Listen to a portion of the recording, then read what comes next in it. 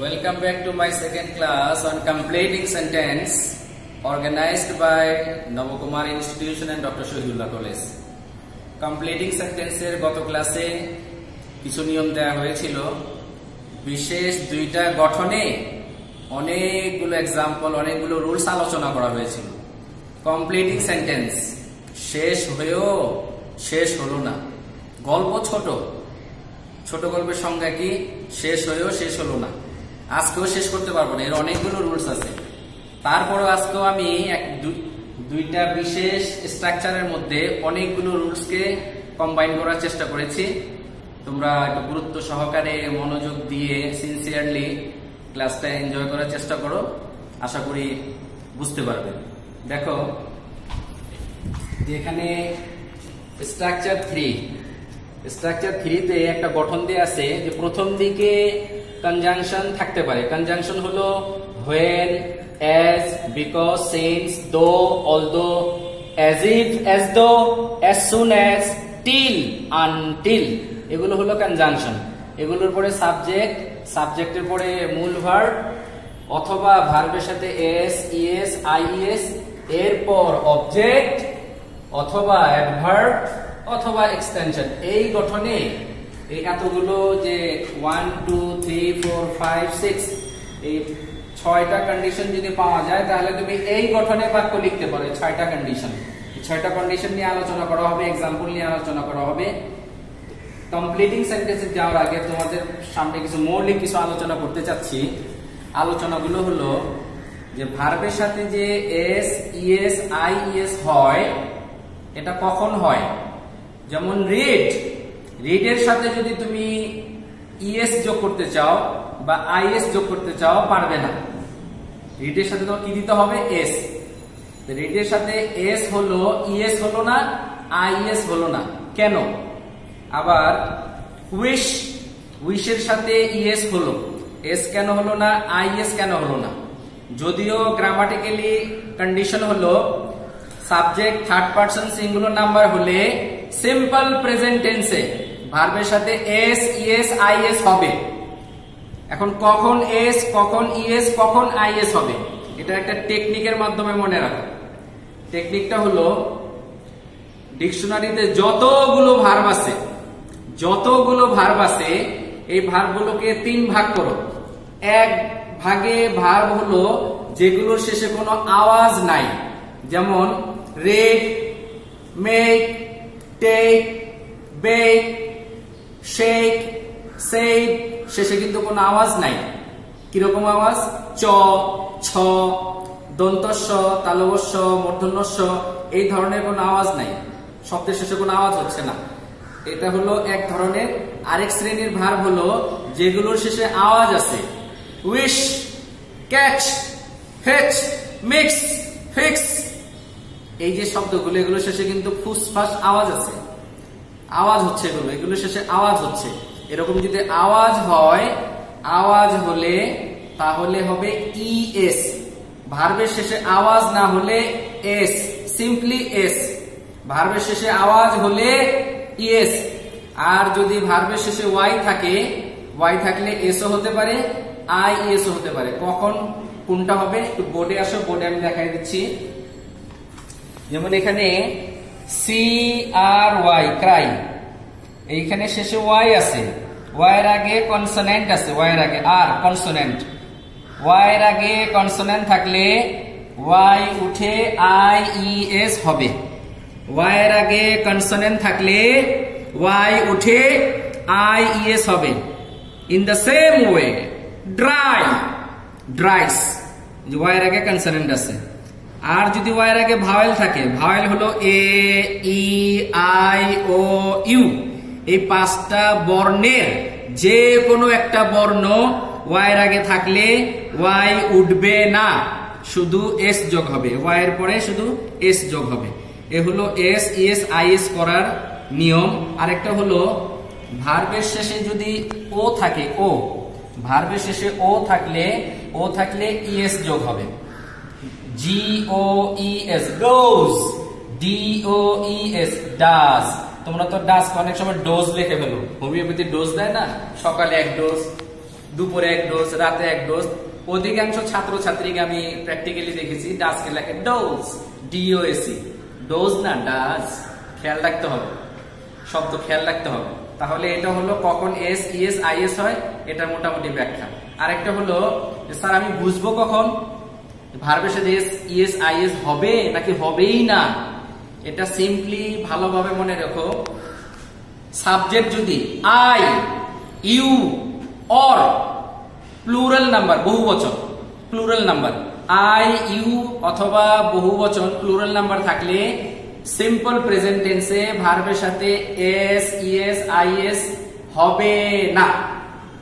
Subject যদি তিন ধরনের হয়, আর যদি তিন ধরনের না হয় যে কোনো সাবজেক্ট থাকুক, যে কোনো সাবজেক্ট থাকুক, যেভাবেই থাকুক সিম্পল প্রেজেন্টেন্সে ভার্বের সাথে এস ইএস আইএস যোগ হবে। For example I teach you English I আয়ের পরে কিন্তু টিচ টিচেস হয়নি।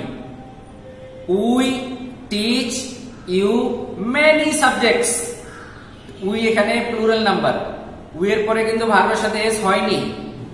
ঠিক একইভাবে you learn English from me you learn English from me you you থাকার কারণে সেকেন্ড পার্সন থাকার কারণে ভার্বের সাথে এস হয়নি। তাহলে সহজভাবে মনে রাখতে হবে আই থাকলে ইউ থাকলে বহু বচন থাকলে ভার্বের সাথে এস এস হবে না। এছাড়া তুমি যে কোনো সাবজেক্টে নিয়ে আসো না। ভার্বের সাথে এস এস আই এস তিনটা থেকে যে কোনো একটা হবে, কখন কোনটা হবে তো ব্যাখ্যাতে বললাম কিছুক্ষণ আগে। যেমন he teaches us English he I you বহু বচন বাদে। এই কারণে হি এর পর ভার্বের সাথে E S she sings a song she sings a song sing এর সাথে যোগ হলো। The boy tries hard and sole to succeed in life the boy tries T R Y T R Y Y বাদ দিয়ে I S Y বাদ দিয়ে I S tries কারণ Y এর আগে কনসোনেন্ট আছে। She tries hard and soul to succeed in life আবার he plays football he plays football P L A Y S Y এর আগে ভাওয়েল আছে এ ওয়াই কিন্তু উঠাই নাই ওয়াই রইল এখানে। ওয়াই এর পরে S he plays football Y উঠে নাই। ওয়াই এর আগে ভাওয়েল থাকলে ওয়াই উঠবে না। ওয়াই এর আগে কনসোনেন্ট থাকলে ওয়াই উঠবে। উঠে আই এস হবে। এ হলো মৌলিক আলোচনা। এই বিষয়গুলো অনেক সিম্পল সিম্পল জিনিসের মধ্যে তোমরা তো এগুলো ঠিক মতো প্রয়োগ না করার কারণে পরীক্ষাতে ভালো নাম্বার আসে না। বিষয়টা সিম্পল কিন্তু তোমাদেরকে সিম্পলি এটা বুঝতে হবে। আসো আবার মূল আলোচনাতে আসি। তাহলে শর্ত অনুযায়ী এই গঠন কখন কখন হবে? প্রথম শর্ত হলো, একটি বাক্যে উইল অবলিক ক্যান সাথে নট থাকতে পারে উইল নট ক্যান নট এরপরে মূল ভার্ব থাকলে ইফ বা আনলেস এর পর এস থ্রি এস তে হলো স্ট্রাকচার থ্রি তে হলো স্ট্রাকচারের নাম্বার মানে এই গঠনটা হবে, এই গঠনটা যে গঠনটা এখানে লেখা আছে। এই গঠনটা সাবজেক্ট হবে, মূল ভার্ব হবে, অথবা ভার্বের সাথে এস এস আই এস হবে, এরপর অতিরিক্ত শব্দ। আরেকটা কন্ডিশন হলো, ফলাফল বুঝালে উইল অথবা ক্যান প্লাস মূল verb will not can not plus মূল ভার্ব বা প্রেজেন্ট ইনডেফিনিট টেন্স দেয়া থাকলে এই স্ট্রাকচারটা হবে, এই উপরে এই স্ট্রাকচারটা হবে। আবার থার্ড নাম্বার কন্ডিশন হলো হোয়েন এর পর প্রেজেন্ট ইনডিফিনিট টেন্স থাকলে দ্বিতীয় বাক্যে প্রদত্ত স্ট্রাকচারটা হবে। যে স্ট্রাকচার নিয়ে আলোচনা হচ্ছে four condition four number condition হলো দো অল দো এর পর সিম্পল প্রেজেন্ট টেন্স থাকলে থাকলে দ্বিতীয় অংশে প্রদত্ত স্ট্রাকচারটা হবে। দ্বিতীয় অংশে প্রদত্ত স্ট্রাকচারটা হবে। কন্ডিশন হলো সিম্পল প্রেজেন্ট টেন্স থাকতে হবে। আর পাঁচ নাম্বার কন্ডিশন হলো as if as though since এর পরে পাস্ট টেন্স থাকলে প্রথম বাক্যে এই গঠনটা হবে যে গঠন নিয়ে আলোচনা হচ্ছে। সিক্স কন্ডিশন হলো সাবজেক্টের পেশা, নেশা, অভ্যাসগত কাজ, বুঝালে who oblique which plus present tense that means এই স্ট্রাকচার প্রেজেন্ট টেন্স বলতে আমি এই স্ট্রাকচারকে বোঝাচ্ছি, এই স্ট্রাকচার হবে। এখন প্র্যাকটিক্যালি এক্সাম্পলের দিকে দেখো। Prema can succeed in life Prema can succeed in life Prema জীবনে সফল হতে পারে ইফ এই যে কন্ডিশনে আসছি। এই যে কন্ডিশনে প্রথমে দেখো সাবজেক্ট সাবজেক্ট হলো শি এরপরে ভার্বের সাথে হলো ওয়ার্ডস এরপর অ্যাডভার্ব হলো hard subject verb adverb subject verb adverb she works hard ওয়ার্কের সাথে এস যোগ হলো ইএস না আইএস না। এস যোগ হলো কখন এস হয়, কখন ইএস হয়, কখন আইএস হয়। এটা আলোচনা করেছি, এটা ভালো মতো বুঝার চেষ্টা করতে হবে। শি ওয়ার্কস হার্ড এই এই নিয়মে কিন্তু হলো, এই গঠনে। Dear students second example the boy will win the prize এখানে সাবজেক্ট হলো দ্য বয় এই যে এখানে এই কন্ডিশনটা আছে। দ্য বয় এরপরে সাবজেক্টের পরে উইল এরপরে হলো মূল verb win the prize unless ইফও থাকতে পারে আনলেসও থাকতে পারে। একটা জিনিস খেয়াল রাখবে unless itself negative unless itself negative এই কারণে আনলেস এর পরবর্তী বাক্য নেগেটিভ করা যাবে না। এর পরের বাক্যটা অ্যাফার্মেটিভ হবে। তাহলে ছেলেটা প্রাইসটা উইন করতে পারবে যদি না সে তার কর্তব্যে অবহেলা করে। Unless he neglects his duties unless he neglects হিটা হলো থার্ড পার্সন সিঙ্গুলার নাম্বার এই কারণে নেগলেক্টের সাথে এস হলো। ইএস হয়নি আইএস হয়নি। নেগলেক্ট শব্দের শেষে কোনো আওয়াজ নাই, ফুসফাস শব্দ নাই। চয়ের মতো, ছয়ের মতো, দন্ত ছয়ের মতো আওয়াজ নাই।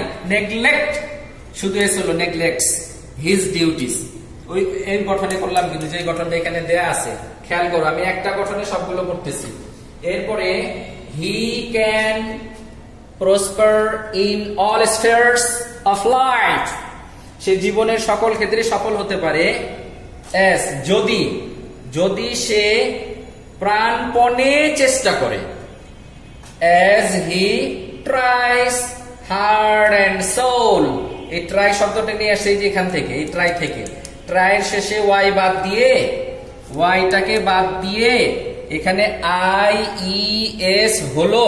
কেন? ওয়াইয়ের আগে কনসোনেন্ট আছে ভাওয়েল নাই। এগুলো একটু খেয়াল করতে হবে। এরপর the students will be happy ছাত্র ছাত্রীরা সুখী হবে।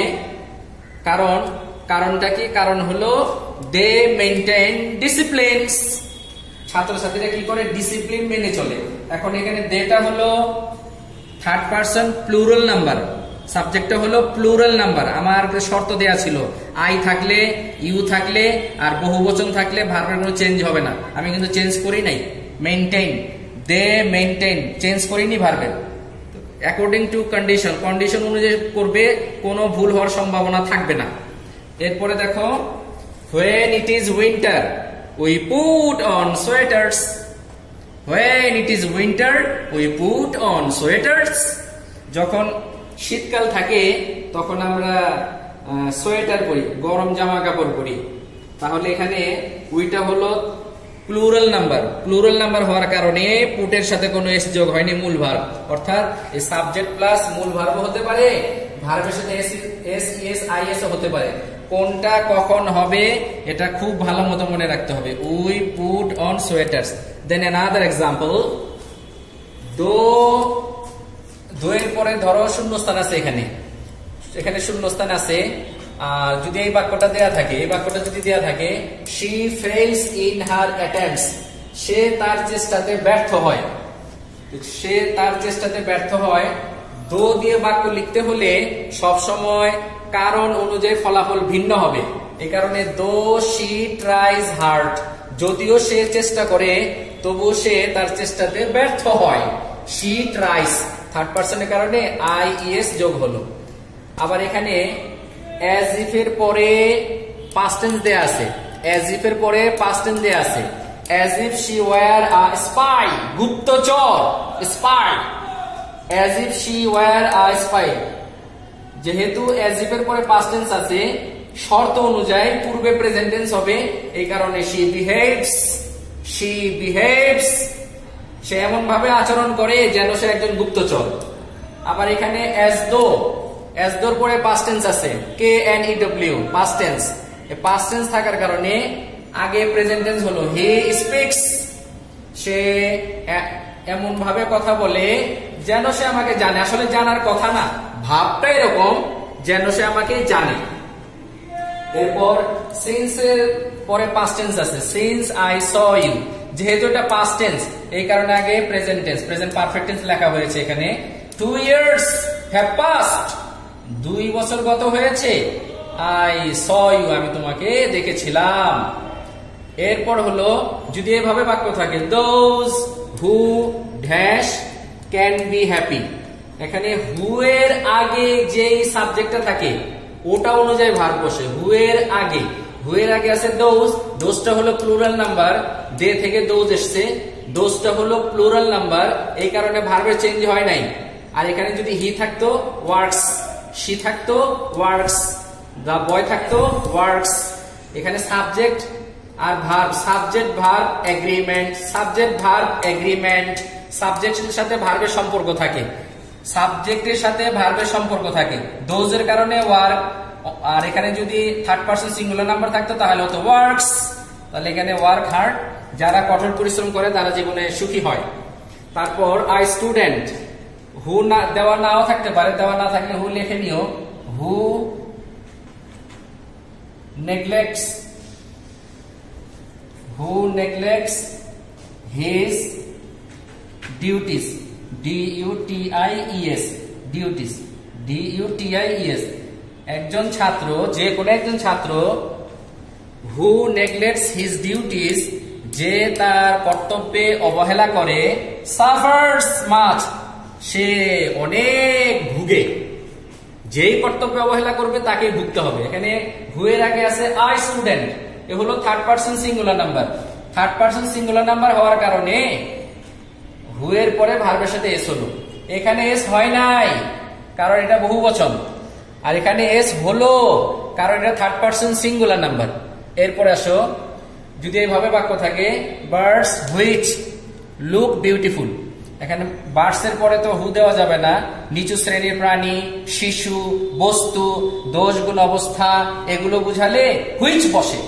তাহলে the birds which, fly freely. Birds বহু বচন এই কারণে ফ্লাইটা মূল ভার্ব। বার্ডস বহু বচন এই কারণে ফ্লাইটা মূল verb. Birds fly, birds which fly freely, look beautiful. যে পাখিগুলো স্বাধীনভাবে আকাশে উড়ে, ওগুলোকে দেখতে সুন্দর দেখায়, ভালো দেখায়, সুন্দর লাগে সেগুলো। দা কাও দা কাউ এখানে দিতে হবে which. The cow which grazes here the cow which grazes here the cow হলো third person singular number cow এর কারণে which third person singular number হওয়ার কারণে E S the cow which grazes here যে গরুটা এখানে বিচরণ করে, ওটা রলি পলি। নাদুস নুদুস, রলি পলি। ইংরেজিতে এমন কিছু শব্দ আছে, শব্দগুলো খুব চমৎকার খুব চমৎকার। শব্দ ভান্ডার মজবুত করতে হবে। শব্দ ভান্ডার মজবুত না হলে শব্দ ভান্ডার মজবুত না হলে তুমি ইংরেজিতে নিজেকে স্কিল করতে পারবে না। প্রচুর শব্দ শিখতে হবে। প্রচুর শব্দ শেখার জন্য ইংলিশ আর্টিকেল পড়ো।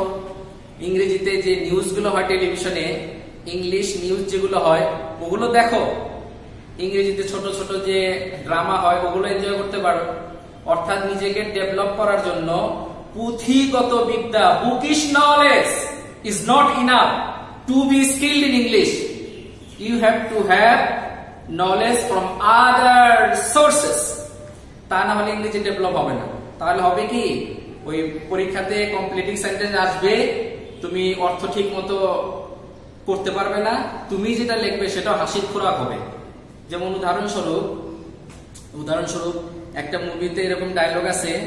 মুভিতে ডায়লগটা হলো, কিছু বান্ধবী কিছু বান্ধবী রেস্টুরেন্ট থেকে খাওয়া দাওয়া করার জন্য। যার উপরে দায়িত্ব ছিল বিল দেওয়ার জন্য সে বিল দিচ্ছে না।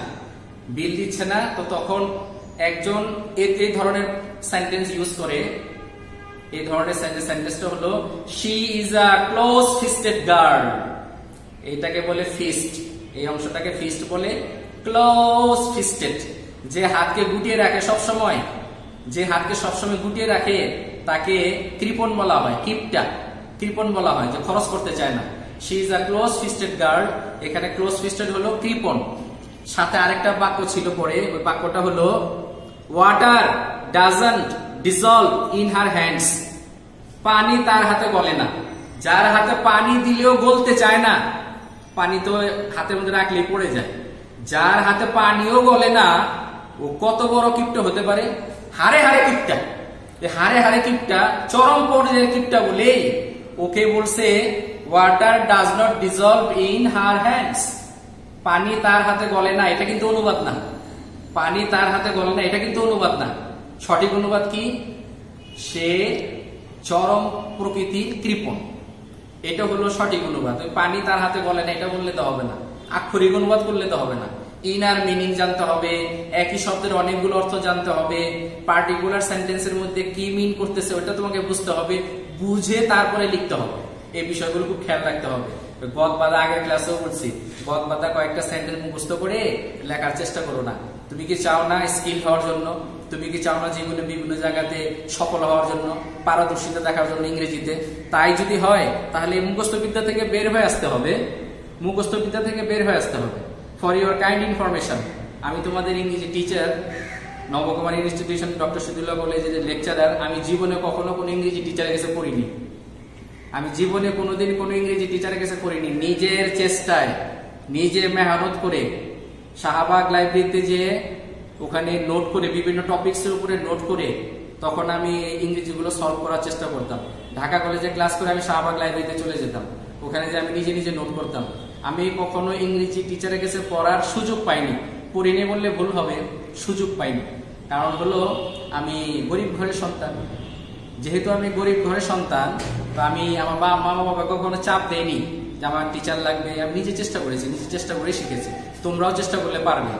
যেহেতু আমি বিভিন্ন পরিস্থিতি ওভারকাম করে আমি নিজেকে যতটুকু পারি, অতটুকু তোমাদের শেখানোর চেষ্টা করতেছি, তোমরাও পারবে। এটা আমার বিশ্বাস। গাড়ি চালানোর সময় সবসময় সামনে দেখতে হয়, পিছনে দেখবা না। তোমাকে আগে বাড়তে হবে, সামনে দেখতে, সামনে তাকাও, সামনে, আমাকে আগে বাড়তে হবে। পিছনে তাকাবা অ্যাক্সিডেন্ট হয়ে যাবে। পিছনে তাকালে অ্যাক্সিডেন্ট হবে। তুমি তো একটা গাড়িতে রানিং অবস্থায় আছো। এই যে পড়াশোনা করতেছে you are student like a driver driving on the highway পিছনে তাকালে অ্যাক্সিডেন্ট হবে, পিছনে তাকায়ও না। মনে রাখতে হবে একটা বিষয়। The root of education is bitter but its fruit is sweeter শিক্ষার যে মূল হয়, মূল, এটা কিন্তু তিতাই লাগে, এটা তিতা হয়। কিন্তু পরে যে ফল হবে ফল কিন্তু মিঠা হবে। পরে যে ফল হবে এখন কিন্তু তোমরা মূলের মধ্যে আছো। মূলের মধ্যে থেকে যদি এখন এনজয় করতে চাও, এখন যদি মজা করতে চাও, তাহলে কিন্তু ফল পাবে না। আর এখন যদি কষ্ট করো, তিতা লাগলেও, এখন যদি কষ্ট করো, ফল কিন্তু মিঠা হবে। কারণ the root of education is bitter but its fruit is sweeter ফল মিঠা হবে কিন্তু। আব্রাহাম লিঙ্কন, আমেরিকার প্রেসিডেন্ট ছিলেন। বাবা ছিল মুচি। মুচির ঘরের ছেলে। উনি যখন সংসদে যান অন্যান্য সিনেটররা তাকে মুচির ছেলে বলে তিরস্কার করেছিল। কিন্তু তিনি বলছেন যে আমি মুচির ছেলে হওয়া সত্ত্বেও আমি আশাবাদী আমি আমেরিকাকে সুচারুরূপে পারফেক্টলি লিডিং দিতে পারব। কারণ কর্মে পরিচয়। মানুষ বাঁচে তার কর্মের মাঝে, বয়সের মাঝে না। Man lives in deeds not in years মানুষ বাঁচে তার কর্মের মাঝে, বয়সের মাঝে না। বাবার প্রশংসা করে আব্রাহাম লিঙ্কন বলেছিলেন যে আমার বাবা মুচি হওয়ার পরেও আমি আমার বাবার ব্যাপারে গর্ব করি। কারণ আমার বাবা খুব সুচারুরূপে এই মুচির কাজটা করতে পারতেন। বাবা যেমন সুচারুরূপে মুচির কাজটা করতে পারতেন, আমি সুচারুরূপে পারফেক্টলি প্রপারলি আমেরিকাকে লিডিং দিতে পারব। এই তো এই এই যে একটা সৎ সাহস, একটা confidence grow confidence in you grow confidence in you তুমিও পারবে তুমিও পারবে চেষ্টা করো চেষ্টা করো, আগে বাড়ো। ড্রাইভিং অবস্থায় সামনে তাকাও, সুন্দরভাবে ড্রাইভিং করে আগে বাড়ো, সবকিছুই সম্ভব হবে। আসল মূল আলোচনা আবার চলে আসি। এতক্ষণ যে আমরা কমপ্লিটিং সেন্টেন্স করলাম ওটা ছিল হলো ক্লজ দিয়ে। ক্লজ দিয়ে, বাক্যাংশ দিয়ে, যেটার মধ্যে একটা ফাইনাইট ভার্ব থাকবে সাবজেক্ট নাও থাকতে পারে অবজেক্ট এক্সটেনশন অতিরিক্ত শব্দ থাকবে। এখন আমরা স্ট্রাকচারটা যেটা এখানে দেখাচ্ছি এখানে, এটা হলো ফ্রেজ ভার্বের সাথে আইএনজি এরপরে অবজেক্ট থাকতে পারে, নাও থাকতে পারে, অথবা অ্যাডভার্ব থাকতে পারে, নাও থাকতে পারে। এই ধরনের স্ট্রাকচার কখন হবে? কখন বুঝব যে এই ধরনের ফ্রেজ আমার সেন্টেন্সে লাগবে? এটার কতগুলো কারণ এখানে দেয়া আছে। ফার্স্ট কন্ডিশন ইজ যে কোনো প্রিপোজিশনের পর যে কোনো প্রিপোজিশনের পর এই গঠনটা হবে। যে কোনো প্রিপোজিশনের পর। ভার্বের সাথে আইএনজি হবে অবজেক্ট হবে অ্যাডভার্ব হবে। প্রিপোজিশনের পর। প্রিপোজিশন সম্বন্ধে তোমাদের ধারণা থাকতে হবে। প্রিপোজিশনের ক্লাস কখনো নেওয়ার সুযোগ হলে নেব।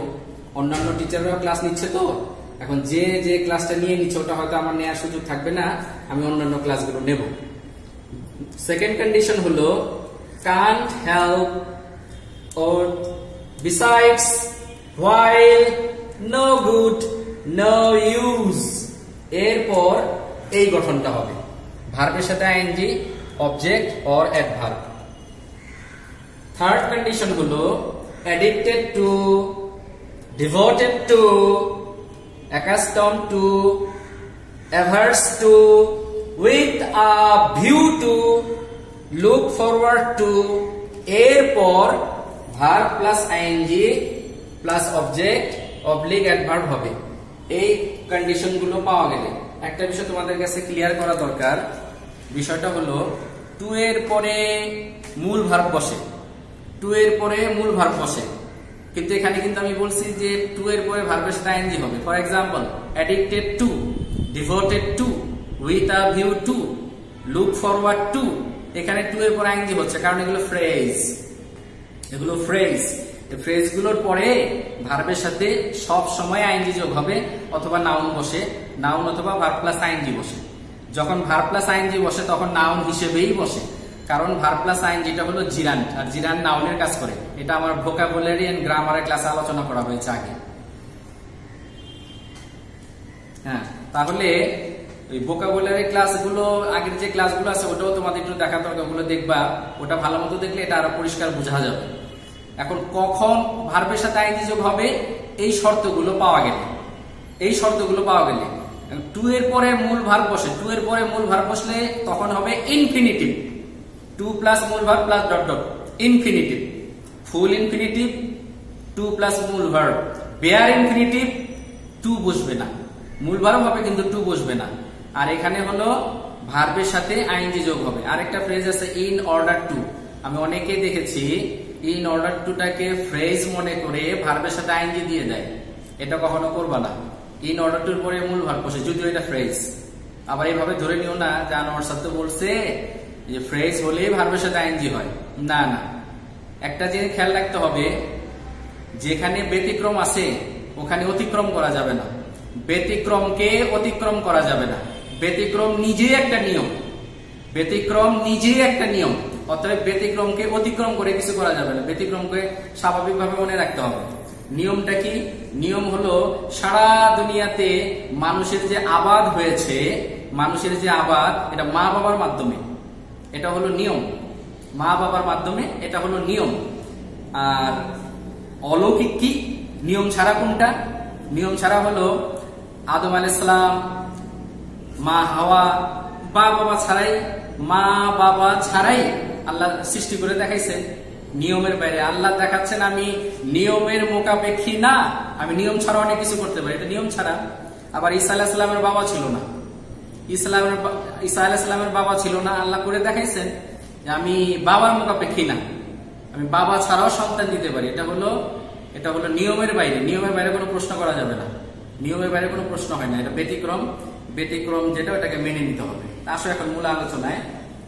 দেখো এখানে এক্সাম্পলটা খেয়াল করো। Success depends on success depends on এই অনটা হলো প্রিপোজিশন যেহেতু এটা প্রিপোজিশন এই কারণে তুমি ভার্বের সাথে আইএনজি দিয়ে লেখো এইভাবে success depends on working hard success depends on working hard এখানে হলো ওয়ার্কিংটা হলো verb plus I N G hard হলো অ্যাডভার্ব তাহলে verb plus ING plus adverb ওই কন্ডিশনের সাথে মিলে গেছে। Verb plus I N G plus adverb এই working hard we couldn't help we couldn't help L A U G H I N G at him আমরা তাকে দেখে না হেসে পারলাম না। আমরা তাকে দেখে না হেসে পারলাম না। এই যে লাফের সাথে আইএনজি, এরপর হলো অতিরিক্ত শব্দ। ঠিক একইভাবে they gave us food besides besides এর পরে ভার্বের সাথে আইএনজি বসে। দেখো এখানে, তারা আমাদেরকে খাবার দিয়েছিল besides besides giving us shelter আশ্রয় দেওয়া ছাড়াও তারা আমাদেরকে খাবার দিয়েছিল। বিসাইডস এর কারণে আইনজি হলো। ঠিক একইভাবে এখানে আই স স্নেক আমি একটা সাপ দেখেছিলাম। হোয়াইল যখন। হোয়াইলের পরে সরাসরি ভার্বের সাথে আইনজি বসে। হোয়াইলের পরে সরাসরি ভার্বের সাথে I N G while playing in the garden while playing in the garden আমি বাগানে খেলার সময় একটা সাপ দেখেছিলাম। এখানে একটা বিষয় ক্লিয়ার করে নেই। এখানে যদি তুমি সাবজেক্ট ব্যবহার করো এটা, এই আইটা যদি এখানে ব্যবহার করো, তাহলে কিন্তু এখানে ওয়াজ দিতে হবে। তখন হবে বাক্যটা এরকম। I saw a I was while I was I saw a snake while I was playing in the field তখন আর playing in the field phrase হতো না। তখন প্লেইংটা হতো প্রিন্সিপাল ভার্ব ফাইনাইট ভার্ব এখন কিন্তু এটা প্রিন্সিপাল ভার্ব বা ফাইনাইট ভার্ব নাই। এখন কিন্তু জিরান্ট এখন জিরান্ট হিসেবে আছে। আর যদি এখানে আই ওয়াজ দিতাম, তখন এটা জিরান থাকতো না। তখন হতো ফাইনাইট ভার্ব প্রিন্সিপাল ভার্ব ঠিক একইভাবে it is no good asking her for help তার কাছে সাহায্য চেয়ে কোনো লাভ নেই। নো গুডের পরে ভার্বের সাথে I N G students addicted to addicted to এর পর ভার্বের সাথে আইএনজি বসে। Students addicted to passing their time in vain in vain can't succeed in life অর্থাৎ শূন্যস্থানটা যদি এই জায়গাটা থাকে অ্যাডিক্টেড টু এর পরে অ্যাডিক্টেড টু এর পরে শূন্যস্থান থাকলে তুমি শুরু করবা ভার্বের সাথে আইনজি দিয়ে। Passing their time in vain যারা অযথা সময় ব্যয় করে, তারা জীবনে সফল হতে পারে না। Persons devoted to devoted to এর পরে শূন্যস্থান। Persons devoted to rendering services to others are blessed যে সমস্ত লোকেরা অন্যের জন্য সেবা প্রদান করে, অন্যকে সেবা দেয়, তারা সবসময় ব্লেসড হয়, আশীর্বাদ প্রাপ্ত হয়। শূন্যস্থান থাকবে হলো এই অ্যাডিক্টেড টু এর পর থেকে। এভাবে থাকবে বাক্যটা, খেয়াল করো। Persons devoted to dash are blessed এখানে যে অংশটা তুমি লিখবে, শুরু হবে ভার্বের সাথে আইএনজি দিয়ে, কিন্তু খেয়াল রাখতে হবে পরের ইনফরমেশনের সাথে যাতে মিল থাকে। এখানে যেহেতু বলছে আর ব্লেসড তাহলে এখানে ভালো ইনফরমেশন দিতে হবে। যারা সমাজের জন্য কাজ করে, অন্যের জন্য নিজের জীবনকে বিলিয়ে দেয়, এরকম কিছু লিখতে হবে এখানে। অর্থাৎ টোটাল বাক্যটা টোটাল মিনিং এর উপরে ডিপেন্ড করে। মন করা কিছু লিখে দিলে কিন্তু বাক্য হবে না। টোটাল বাক্যের মিনিংটা খেয়াল করতে হবে। এই বিষয়ে তোমাদের আগে সতর্ক করা হয়েছে যে টোটাল বাক্যের ইনার মিনিং এ যেতে হবে। If the inner meaning is clear to you the sentence you are going to write will be perfect last example all came here with a view to with a ভিউটোর পরে ING আছে। তো with a ভিউটোর পরে ING দেওয়া আছে। এখানে with a ভিউটোর পরে শূন্যস্থান থাকলে এনজয়িং দ্য গেম এরকম লিখলে অন্য কিছু লেখা যাবে। All came here with a view to সবাই এখানে এসেছিল গেমটাকে এনজয় করার জন্য। অন্য কিছু লেখা যাবে। এ হলো মূল আলোচনা। অর্থাৎ এই গঠনটাকে দিয়ে, যে গঠনটা এখানে দেওয়া আছে, ওই গঠন দিয়ে এভাবে verb plus I N G plus object oblique adverb এভাবে তুমি বাক্যগুলো তৈরি করতে পারো। এর বাইরেও এর বাইরেও কিন্তু আরও অনেক নিয়ম আছে। কমপ্লিটিং সেন্টেন্স এমন একটা টপিকস যে আমি আগের ক্লাস আর এই ক্লাসে চেষ্টা করলাম। অনেকগুলো রুলসকে এই চারটা স্ট্রাকচারে আনার চেষ্টা করলাম। তারপরেও শেষ হয়েও শেষ হলো না। গল্প ছোট, কিন্তু সংজ্ঞাটা তো খেয়াল করতে হবে। ছোট গল্পের সংজ্ঞা কি? শেষ হয়েও শেষ হলো না। আমার কমপ্লিটিংটা তোমাদের কাছে শেষ হয়েও শেষ হলো না। বাসায় বইয়ের সাথে সম্পর্ক রাখতে বলছে, বারবারই বইটা ভালো মতো পড়বা। বইয়ের মধ্যে অনেক রুলস লেখা আছে, ওগুলো পড়ো। পড়ে যাদের আমার কন্ট্যাক্ট নাম্বার আছে প্রয়োজন হলে আমাকে ফোন দাও। ফোন দিয়ে আমার কাছ থেকে জানার চেষ্টা করো। পরবর্তী ক্লাসে অন্য কোনো টপিকস নিয়ে আলোচনা করা হবে। তোমাদের সুস্বাস্থ্য, নিরাপত্তা কামনা করে আজকে আমার ক্লাস এই পর্যন্তই শেষ করছি। আগামী কোনো ক্লাসে ইনশাল্লাহ আবার তোমাদের সাথে সুস্থ থাকলে দেখা হবে। আজকে এই পর্যন্তই। ধন্যবাদ সকল সবাইকে।